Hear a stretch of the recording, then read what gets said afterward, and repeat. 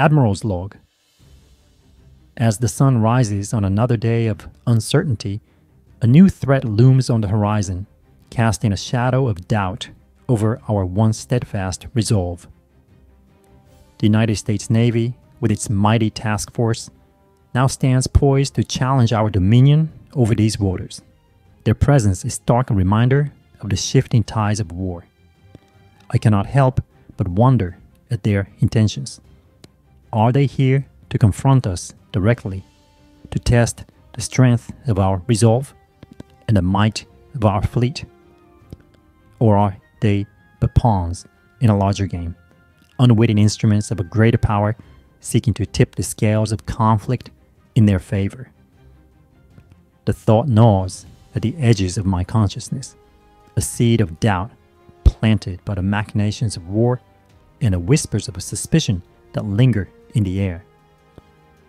Could it be that the United States, the very beacon of democracy and freedom, is the true puppet master behind the resurgence of Japan, pulling the strings from afar to serve their own interests? It is a troubling notion, one that fills me with a sense of unease as I contemplate the road ahead. For if the United States is indeed the architect of our downfall, then we face a foe far more formidable than any we have encountered before.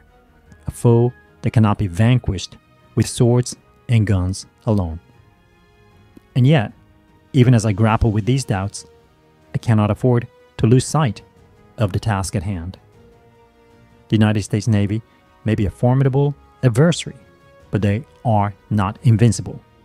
With careful planning and unwavering determination, we can turn the tide of a battle in our favor, no matter the odds stacked against us. So, let the enemy come.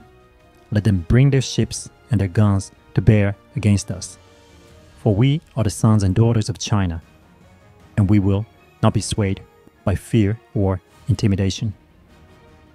Onward, my comrades, to meet our destiny head on, to face whatever challenges lie ahead with courage and resolve. Hey guys, Stealth here, and welcome to episode 9. The United States fleet is upon us, led by Battleship Maine, armed with 8 12-inch guns. Battleships Acor Driver, Antonio Bocalle, and Martin uh, Kunze are going to have to defeat that threat. Unfortunately, that's not the only capital ship they have. They also get the Legend, the Constellation, armed with 14-inch guns and more 14-inch guns. I believe I've fought these gentlemen before, and those 14-inch guns are only Mark II. Doesn't make them completely harmless, it just makes them slightly less worrying. They're also escorted by a whole slew of cruisers and DDs, like that's a lot of ships. This does seem to be a slightly older design. They are not as fast, they don't carry as many torpedo launchers, so I suspect this is a sort of remnant of the original fleet that they may have started the game with. I also have a few destroyers, but not many. These are the, well, some of the new Jinzaos, the 1914 upgrade, and they have six torpedo launchers. My plan is not necessarily to stay and stick it out against the US, because this is a lot of threat. So I might need to do a torpedo attack, deal some damage against their capital ships, sink a few cruisers, and leave. I'm not so sure if staying at the moment is going to be in my best interest. Here we go. I've already positioned my fleet in what I think might be a somewhat advantageous position. The destroyers are moving forward and to the side of the capital ship, which I believe is there.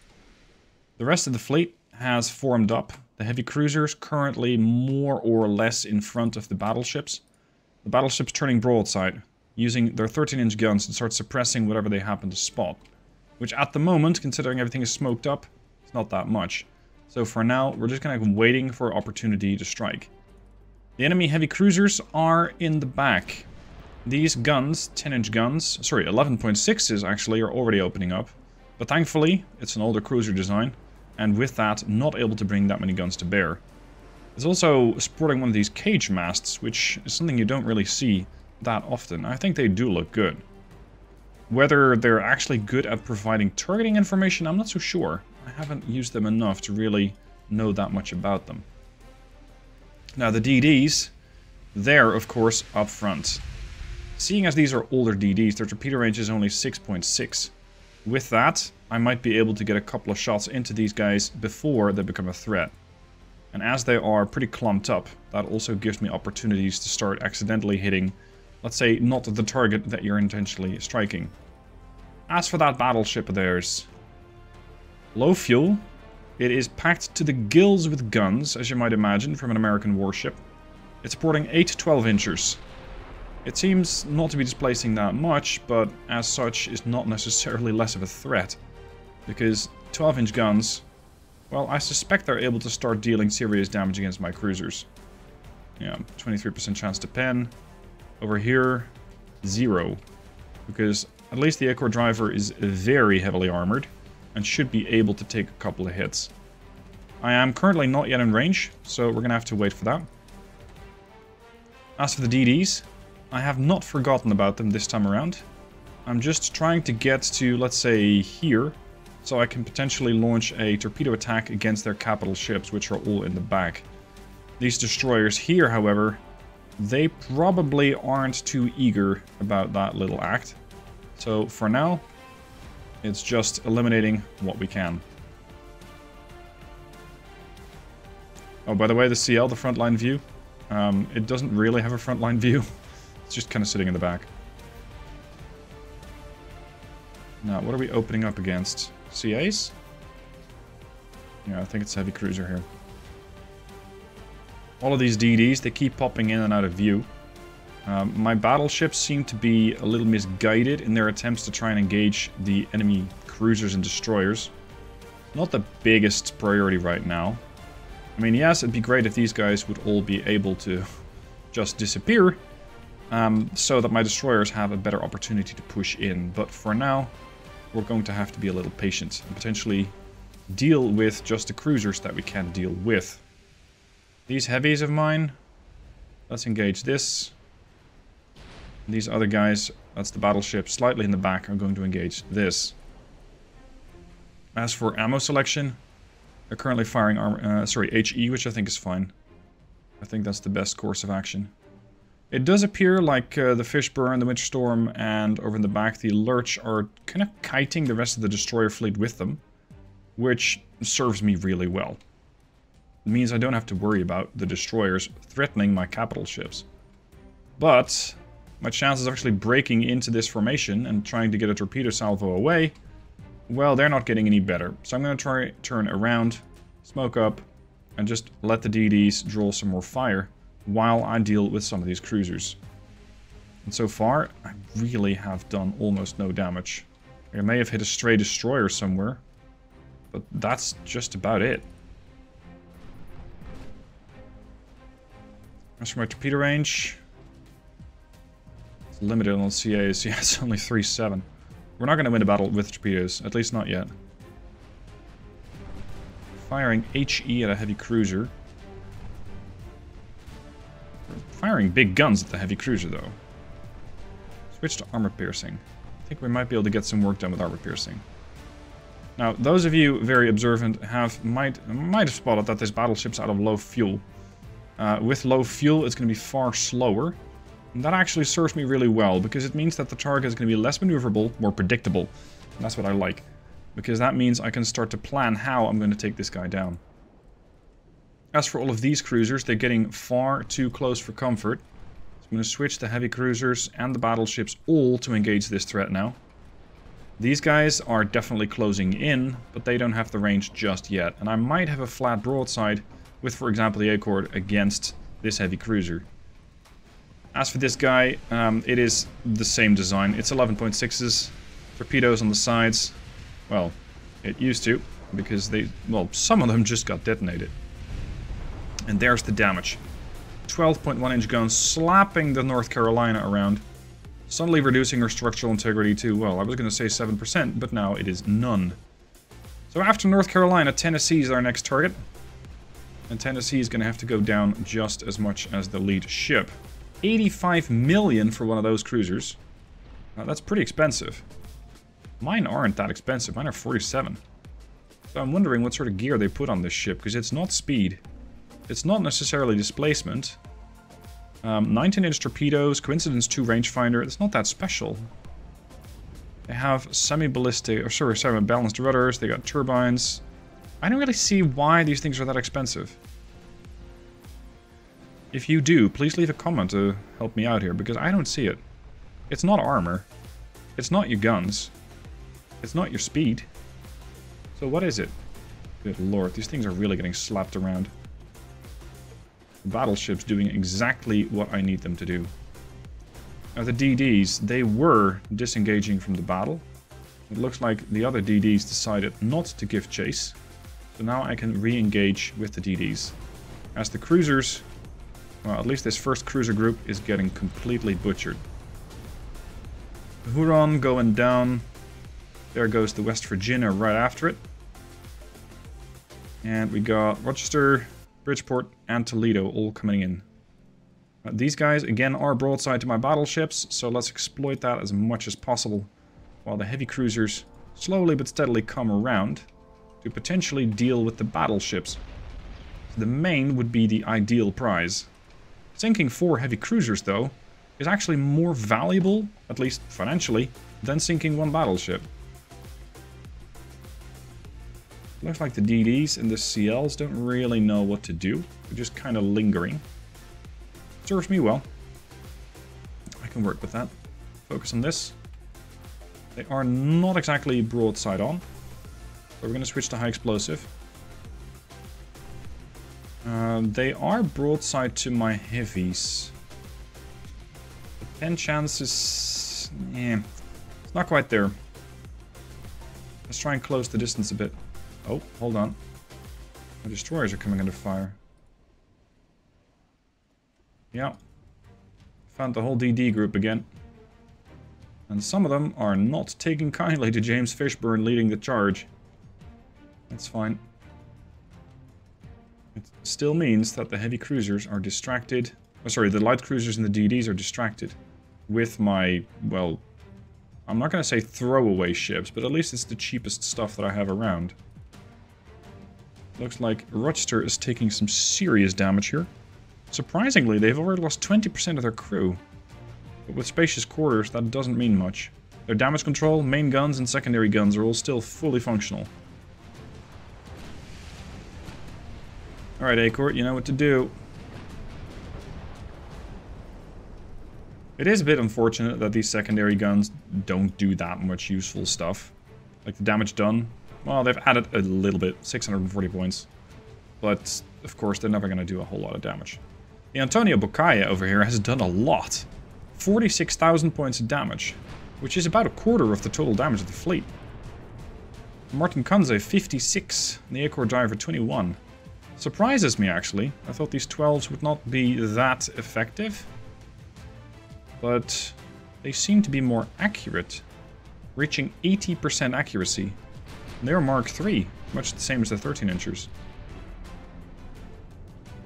Now the DDs have not taken any damage, so I have taken some return fire, naturally.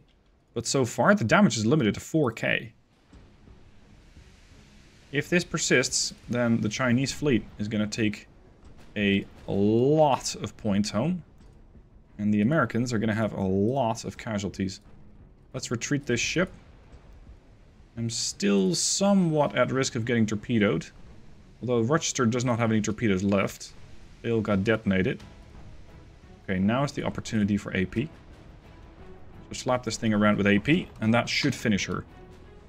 Because the amount of damage that those AP shells, there it is, can do is substantial. Now, with that ship out of the question, or out of the equation, we're going to have to fight the Bridgeport and the Toledo. They still are torpedo hazards to some extent, and we are within torpedo range. So, definitely a threat. I think their battleships are still interested in dealing with the Danny. She's trying to retreat now. Um, it's a bit too much fire coming in. We're going to switch to the battleships with all the heavy cruisers. Put a bit of pressure on them. I'm going to slow down a couple of knots. I'm going to see if I can eliminate these last heavy cruisers and then skirmish with the battleships and the battle cruisers and ideally wipe them all out. So that's 122 million. And this thing was 194. Now, so far, they don't have anything to show for that 194 million warship. Because it's done no damage. It's done... Well, it's done very little against the Danny. The ship is heavily armored and should be able to come back. That is, if they don't get slapped around by another 12 inch, that does happen to hit. And they are very interested in trying to finish that ship off. Which makes total sense, it's just...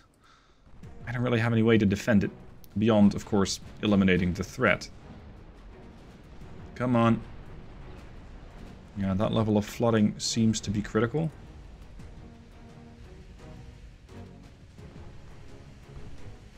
I'm interested in seeing if this is the totality of the American fleet, or if there's more on the way. Because I do believe we're going to find more ships. What the hell damaged that?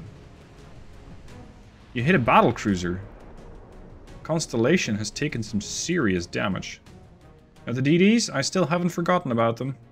It's just that there's a whole lot of smoke screens around, and I'm trying to find a way into the formation, but I'm not going to have to play catch-up with these ships.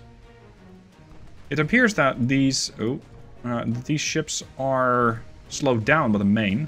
Because the Legend can do 26 knots, and she's definitely not sailing anywhere near that fast. She's doing 13. So she's in a formation with the Maine. And the Maine cannot push.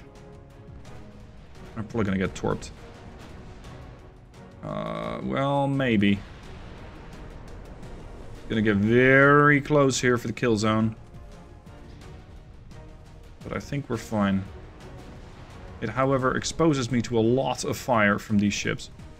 Torpedo range is now becoming an interesting option here. So let's say torpedoes are allowed. And perhaps kill zone. Yep, there we go. Launching several torpedoes against the Maine. Uh, the Jason. Torpedo range. 3-7, not as good. Increase speed again. We need to get rid of the Toledo, so I don't have to worry about that. There we go. Torpedoes out from the battleships. Okay, switch fire to the Maine. These torpedoes should not get detected by Maine because they don't have a hydrophone nearby. So that means that the Maine might suffer from critical torpedo damage. And many bulkheads will provide some protection. Anti-torpedo 2 will definitely provide a bunch of protection. I'm not sure if the Maine is fast enough to actually meet those torpedoes. Bloody hell, why are my cruisers this close together? Spread out. This is one disaster waiting to happen. Increase speed to flank. Uh, kill zone, peel off of the formation. You're going to continue... No, you're going to continue this way. Who's leading this party? The Jason. Uh, the canyon, peel off. Continue on your port turn. If you have torps, use them. Yeah, the torps seemingly did not... Well, actually, no, they did connect. Dud. One hit the fore belt, causing substantial amounts of damage. I think the other one was a dud. Yeah, we got two duds. Robin, keep torping. Frontline view. Smoke yourself up and bring your torpedo tubes online. There's a torpedo salvo from the Robin. I'm very surprised that none of my other ships are taking a lot of damage, but they're still focused on the Danny. They really want to get a kill. I get it, but at the moment, I got heavy cruisers so close, and even a light cruiser. I have a ton of juicy targets for them, and they're just ignoring them. At this point, this battleship is going to be in a world of hurt. Even if there's duds in there? Well, several duds? Yeah, that hurt. Maine is flooding in several compartments and her main tower's been knocked out, reducing her fire controls capabilities. Uh, and there's more on the way. Unfortunately, hitting a already flooded compartment, but that stern compartment was not. It looks like the Maine is well on her way down. Legend, trying to take over lead formation, is now going to be a potential target for my other torpedoes. This torpedo launcher on the canyon is reloading. I'm going to tell every heavy cruiser to cease fire. There goes the Maine. Well done. I've had too many ships take hits from friendlies. I think this is going to be a pretty nice thumbnail, don't you? Always take some screenshots as I'm playing this battle, which is sometimes visible, I guess, by the flicker. Oh, we got another torpedo hit on the Legend. We're destroying their torpedoes. This is an excellent trade.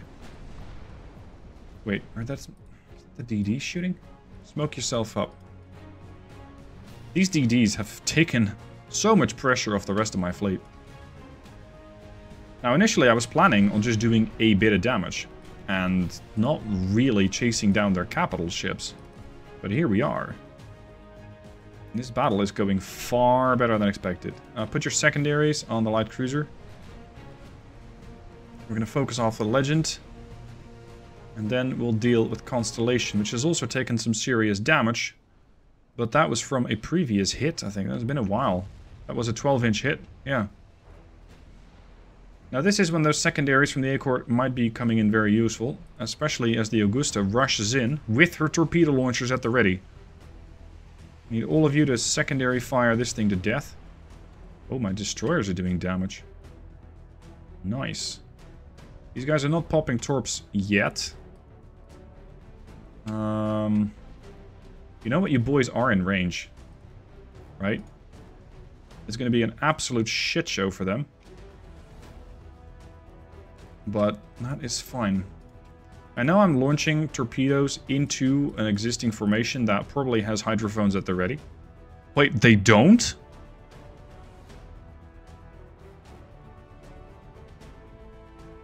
Wow. So this whole formation is extremely vulnerable to a torpedo attack. And I just happen to have those ready. Fishburne, Winterstorm, Lurch, engage as ready. There is a lot of opportunity for disaster on their part. Okay, the Lurch has launched. Winter Storm has not yet launched.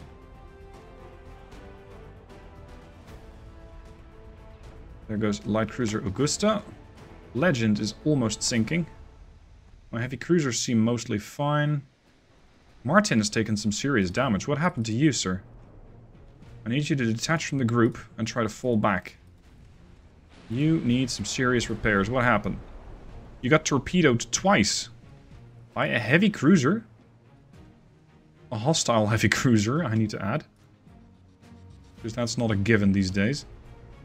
You're targeting the heavy... You're targeting the light cruiser. Here. Okay, let's go for the Roanoke. Um, use HE. There goes the Ellison. That's one of their DDs. Okay, we now have launches from Lurch and Fishburne. But... I think that the first flight of torpedoes, if I can even find those, are going to just not do that much. Or they're going to disrupt this formation so much that the rest of the ships are immediately well, somewhere else by the time that the threat actually arrives. The threat being all the torpedoes. Okay, the Constellation takes some serious flooding on her bows now. I'm very surprised that this heavy cruiser group is basically making it through unscathed. This could have gone a heck of a lot worse. You, light cruiser, deal with the DD. Roanoke taking some serious fire. Excellent. You can auto-select your ammo. What's happening here? Henley sinks. The Henley must be the DD over there. Good damage on the Roanoke. And dead. That was massive. Five and a half thousand points of damage. Beautiful. Okay, battleships. Finish off the already wounded Constellation. Select your ammunition choice. We have a DD sailing around here, the Willis E. Lee. I need to prioritize this threat, because this thing is getting very close, and it's already launched against the light cruiser. Or at least it's targeting the CL now. But that launch was about five minutes ago. Wait, we hit the DD with a with a torpedo? So we've been sending torpedoes against battleships and battle cruisers, probably. And they've been kind of accidentally hitting ships far in the back. I have no idea where all these torpedoes ended up. They just sailed past, I guess, because I can't see them anymore. There goes the Willis. Constellation's about to meet her demise. And she is hunting down the Danny. Surprise, surprise. Which is all the way over there. Okay. Uh, kill zone. Just follow the battleships so I don't lose track of you. There goes the destroyer. And now I can push a bit more aggressively with these cruisers. I'm not terribly interested in hunting down a whole bunch of destroyers, but it has to happen. Or they will come back in another battle. The good news is, I have a lot of secondaries on the A-Core driver. Um, and I'm going to have to use a lot of them. Let's see, can we have the heavy cruiser group engage this? No, we can't. To have to be these gentlemen that actually take that out. And maybe the Kunzi. Uh, engage that. Try and turn with your damaged rudder. The Accord and the Antonio are to have to turn before the Chester becomes a massive threat with torpedoes. Which is likely to happen sooner rather than later. Time to bring the 8-inchers and the 3-inchers to bear. Range on the 3 inches is not spectacular. Like it's 6.5. But the threat is well within that range. Chance to pen this thing. It's got plenty of armor. There's three of them coming in. Four of them, actually. The mobile is, uh, sorry, the mobile is right behind the Princeton here. As it stands, I'm gonna switch guns. I need to switch targets. Because this is currently a bigger threat. Switch to HE. The threat's three kilometers out. We can pen... We cannot pen enough with HE. Oh. Okay. Come on, Accord. Wreck this thing. Two or three hits, and there's no further light cruiser problem. There you go. That is what I want to see here. The Davison goes down, which is over there, due to torpedo damage. Alright. Constellation. About to sink with 8% buoyancy left. She's still fighting, surprisingly. But look at that damage. She's done 149? That surprises me, because this is not a bad ship. Got plenty of guns. Oh, they're Mark 1 guns. Not the Mark 2s. 10-inch Mark 3. Like, speed is good. Armor is sufficient for a battle cruiser. I would like to have more on mine, but this can work. There is a DD coming in.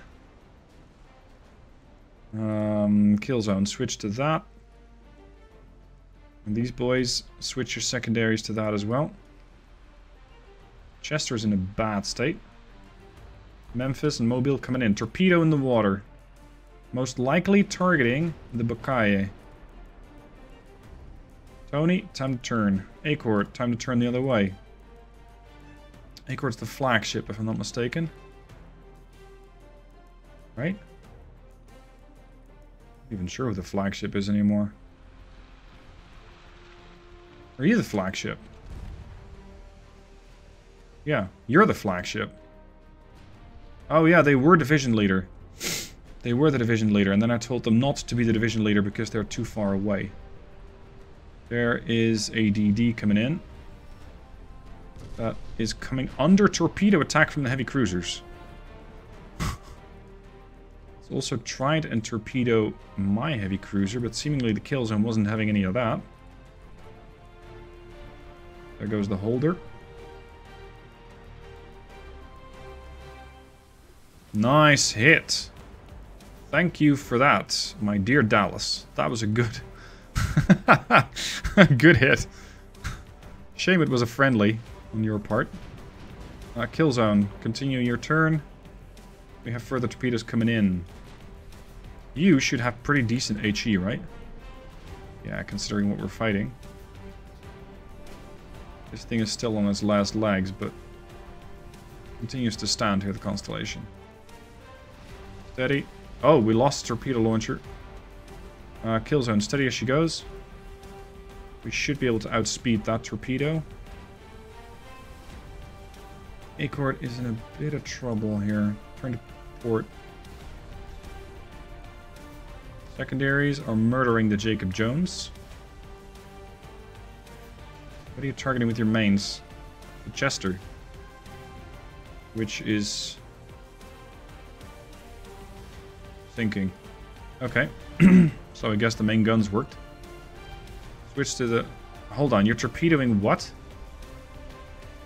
Who torpedoed that? The holder was already sinking, but another DD. yep, I think either the Dorch or the Dash Shield torpedoed the holder. Memphis takes a serious damage. There she goes again. This is going to be an absolute slaughter of the Americans. Constellation finally succumbs to her wounds. Took him long enough. Drops the damage control. The Iron War takes a big hit from the main guns of the, I think, the Bokaya here, the Tony.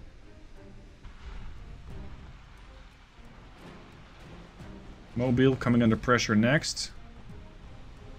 There's definitely a lot of fish in the water here, but so far my ships are all dodging them.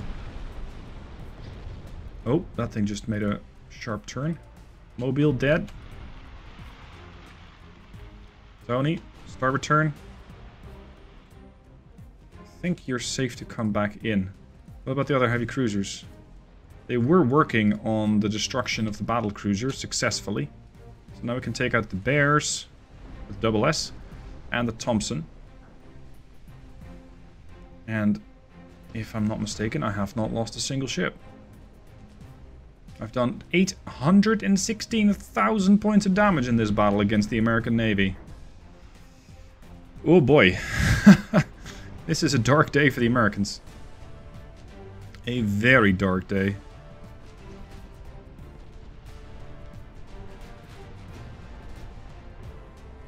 The Tony, 240,000 points of damage. And I was saying that these ships were old. Well, perhaps, but they're definitely not out of the fight. Kind of forgot about the canyon, which is now 28 kilometers away. The Danny T is safe. Yeah, I didn't lose a ship. And of course, yes, I ended up forgetting about the DDs because I was too heavy, too heavily focused on eliminating all of their DDs. I do believe my DDs did some damage. 2.9, 54k. Wow. Good damage with the main guns. So there's what? Two DDs in the CL alive. Yeah, that's it. That's all. Nice.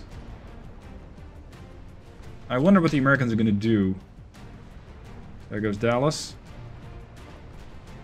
Because to some extent, believe it or not, I've done them a service. They are going to have to replace a lot of their ships, and they're going to probably build more modern ships. Which should make the battle a lot more interesting because these one-sided attacks are not that likely to reoccur. I've done over a million in damage. I don't think I have seen that before, but then again, this is with a mod. And BrotherMunro's mod does change some things. Come on, eliminate the Princeton. Oh, you're out of HE. Well, Princeton's out of flooding capability. Buoyancy dropping at 10. Slowly building up. 11.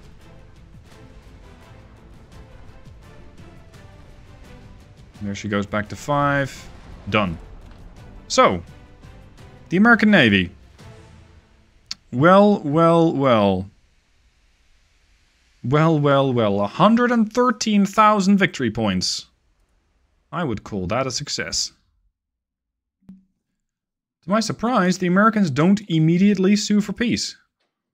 Even though they're behind by about 143,000 victory points. Damn. Um, this is going to cause a shift. Because the Americans now have 52 ships. They did have a bunch more, but that was a largely DD fleet, so taking out a bunch of them definitely helped. Displacement of my fleet totals now 368,000 tons, which is pretty much on par. It's actually slightly bigger than the American fleet now. So we're definitely making progress. They're not at war with anybody else. But I wouldn't be surprised if they're going to be very interested in talking about peace. At which point, I would like to grab Formosa, so I don't have to invade that. Mm, and if they're interested in giving up the Philippines, that would be all the better. For now, I don't believe we have any other big threats. There's one heavy cruiser over there. There's one DD there. It's not that big of a deal. It's not that big of a deal. What they got there? One DD. The Japanese are not a problem right now. The Italians are not a problem. So I'm only dealing with the Germans and I'm dealing with the Austro-Hungarians. The Austro-Hungarians actually did get some points on me, but the Germans definitely not so. And that's probably, yeah, somebody pointed this out in a previous video comment. I did gain a bunch of victory points with the Germans, and at the time I didn't know why, but I took over Kiautschou B, uh, Bay. Um, Army took that over, so it was not necessarily my doing, but it definitely helped a lot with the victory points. And I can actually decide to just surrender. Well, not so much surrender, but um, go to peace with the Germans, because I'm not that interested in pursuing any of their territories at the moment. I'd much rather get my fleet refit because there is a lot of modernization to be done. Especially those ships that did very, very well, the UA phase. Um, do have a more modern version, but we're going to have to modernize them again. Hope you guys enjoyed the video. Let me know what your thoughts are on this war. Um, I look forward to seeing the Americans again, this time around with more modern warships. But we'll see what they do. Thank you for watching. I'll see you soon for more.